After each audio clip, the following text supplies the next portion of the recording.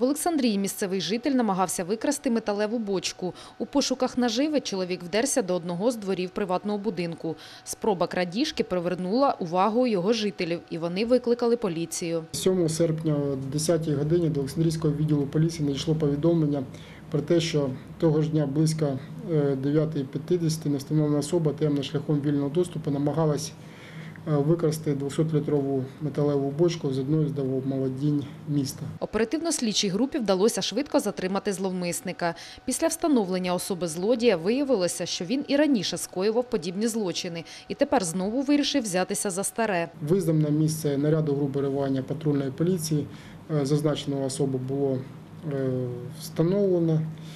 Ним виявився 30-річний раніше судимий мешканець міста.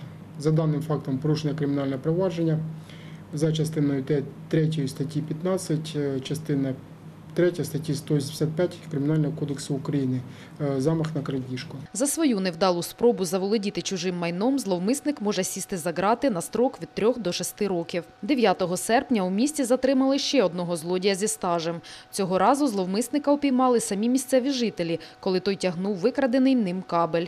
Небайдужі городяни викликали поліцію, яка встановила, що злодій і раніше притягувався до кримінальної відповідальності. На місце слідчо оперативної групи було встановлено, що того ж дня приблизно 20-20 38-річний мешканець міста шляхом вільного доступу е, зі стовбів е, е, зрізав е, кабельну продукцію в кількості 55 метрів одного із провайдерів міста. За даним фактом порушено кримінальне провадження за частиною 1 статті 185 Кримінального кодексу України.